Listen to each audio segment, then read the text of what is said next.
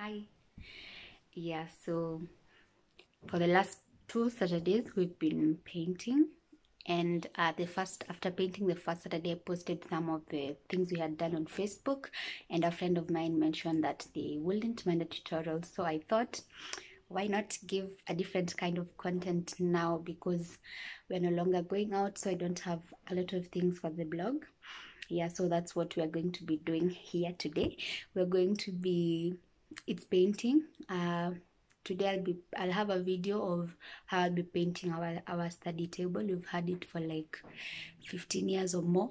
yeah, so I was just thinking after we painted uh, like a stand we have and a stool that was used uh, during Jengo and it was just and it it came out so well. So I thought maybe we can also upscale our study table.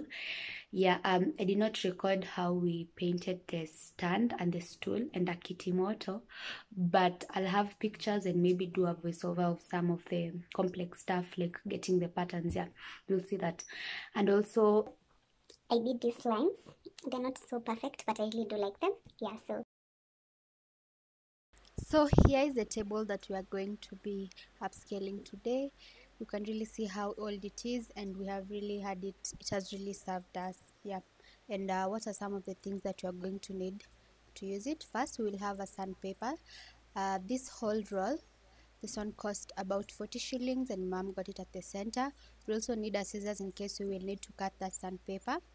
We also have these doorknobs that I got at 50 shillings from a, a hardware in LD opposite Japara. There are three because there are three drawers. We also have this Basco Value paint. My mom got it at around 200 and something. Uh, she doesn't really remember well, but we got it also at the hardware kwa center. yeah. And this kind of paint always needs turpentine. So we have some turpentine here that we're going to use to mix it so that it can be a little bit thin. And this uh, kifuniko here is what we are going to be using to mix it on. I chose a small one because I was not, I'm, I've never done it before, so I just wanted to test and see how it's going to work. We also have this kijiti that we're going to use to paint. These brushes that I got for 50 bob last time and we used them then today we are just going to wash them with turpentine and then use them again because we're using the white paint. I also have this silk vinyl into the painting. Best paint. Doesn't have a smell and it's just yummier so we have that in purple and in pink. To begin we will first start by sanding the table and just removing any kind of dirt and just to make it smooth before painting so once you're done sanding you can use a kifagio or a clean cloth to just wipe uh, the table clean. And then uh, we will go in with the drawers in the same way using uh, the sandpaper. Just sand it well enough and also once you're done with that you will just have to clean it well clean also the insides and then we will be able to now get into the painting. Once the drawers are now clean enough we will now start using the purple paint. You can just see how nice it looks and just yeah it's just perfect. So I always like to paint in one direction so you can go front back or back front. Yes so we will do this for all the three and then we are going to leave them to dry up and then we can start on the table itself. So the babies are all done now and uh, we're just going to let them dry. You'll notice because the paint is limited and we were not willing to spend on some more paint we only painted the visible parts yeah. So we started with the paint and uh, we tested with the sides but we found it was not so good. It's either because we it was our first time using i think so.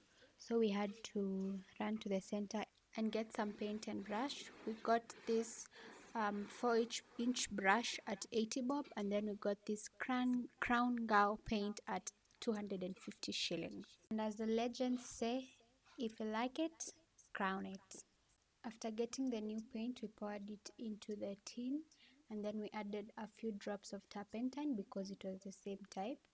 Yeah, and then we just kept um, mixing it until you see that it has become thin enough to use. We were also told that this type of paint works well with an undercoat, so we are now going to use some little leftover undercoat and then first apply because before we now go in with the original paint.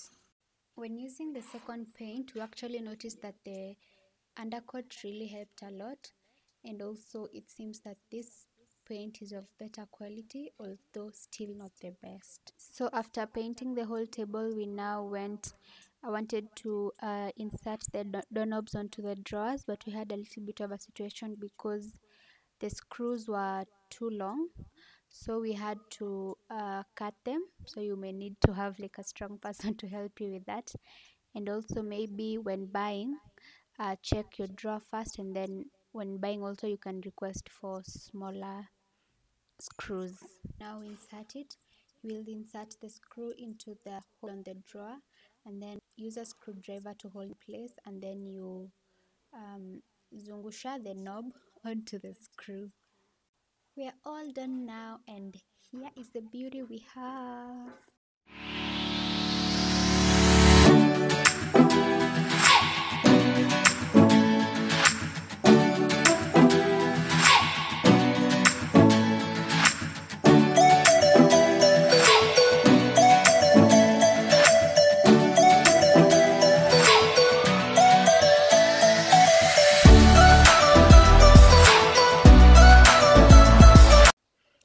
so much for watching. I really hope you like that.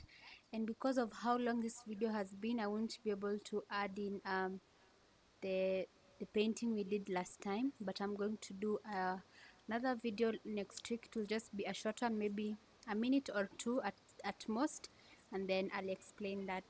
Yes. Thank you for watching